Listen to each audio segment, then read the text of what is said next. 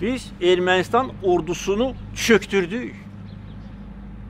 Və eyni zamanda Ermənistana uzun illər rəhbərlik etmiş cinayətkarlara da dərs verdik.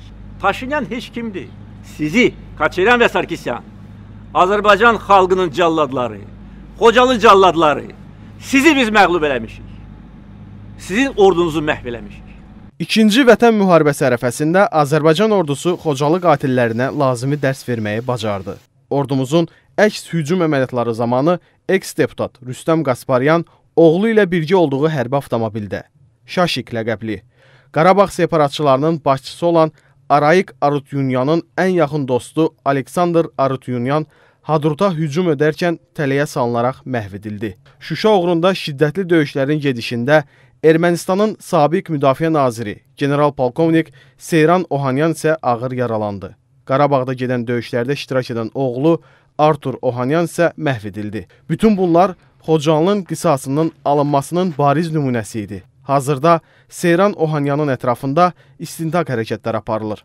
Hərbi prokurorluqda Xocalıda soyqırımı törədilməsi ilə bağlı istintaq isə davam edir. Həmin cinayət işinin istintaqı zamanı 40-ı Xocalı soyqırımı üzrə olmaqla ümumilikdə 297 şəxsin Azərbaycan Respublikası Cinayət Məcəlləsinin soyqırım, deportasiya, işgəncə, müharibə adət və qanunlarını pozma və digər maddələrində nəzərdə tutulan cinayətləri törətmələri sübuta yetirildiyindən həmin 297 şəxs barəsində qeyd olunan maddələrlə təqsirlənən şəxs qismində cəlb edilmələrə dair qərarlar qəbul edilmiş, məhkəmələr tərəfindən barələrində həbs qəti imkan tədbiri seçilmiş və axtarışlarının təmin edilməsinə ötürü sənədlər müvafiq təşkilatlara göndərilmişdir.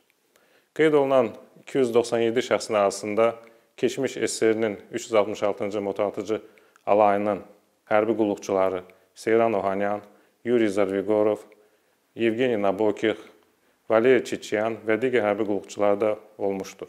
Azərbaycanın qələbəsi ilə başa çatan Vətən müharibəsi zamanı ələ keçirilən erməni hərbiçiləri arasında Xocalıda girov götürülən dinc azərbaycanlılara qarşı işgəncə verənlərdən biri də Lyudvik Mkırtıçyan olub.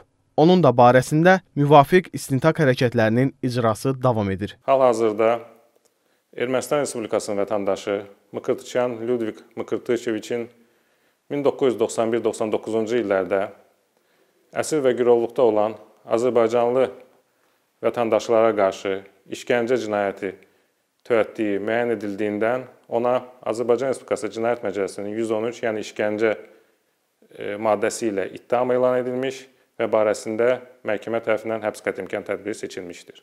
Mıqırtıçan 2-ci e, Vətən müharibəsi dövründə e, deməli 2020-ci ilin oktyabr ayında girovların arasında ələ keçirilmişdir və onun barəsində cinayət işinin istintaqı zamanı müəyyən məlumatlar olduğundan biz ona deməli müvafiq istintaq hərəkətləri aparıldıqdan sonra yəni tanınmaya təqdim etdik, üzləşdirmə istintaq hərəkətləri apardıq və müəyyən etdik ki, o həmin dövrdə girovluqda olan Azərbaycan vətəndaşlarına qarşı işgəncələr törətmişdir. Hazırda Mıqırtıçyan cinayət məsuliyyətinə cəlb edilib və barəsində istintaq davam etdirilir.